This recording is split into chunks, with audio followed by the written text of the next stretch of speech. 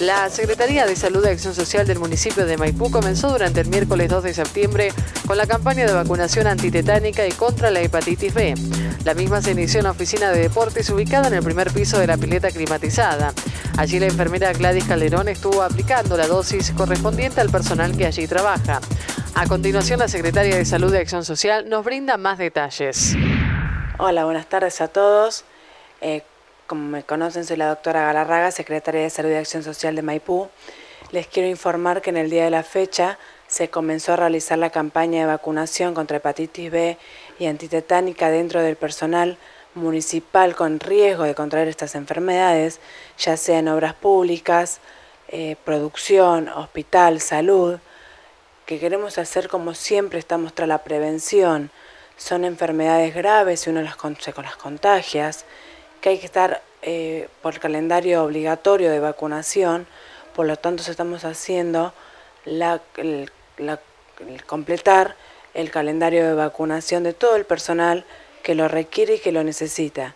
Es algo obligatorio, por lo tanto lo debemos hacer a aquellas personas de la población que quieran estar vacunados contra hepatitis B y antitetánica, repito, se pueden acercar al centro de vacunación del hospital que estas vacunaciones son totalmente gratuitas durante todos los días del año.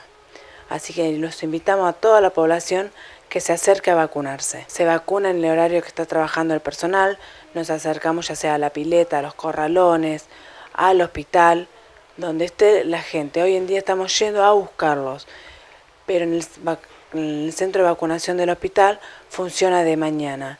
Invitamos a toda la población de Maipú que se acerque a vacunarse para no tener mayores complicaciones en el día de mañana. Todos los años hacen estas campañas, por eso las vamos reforzando.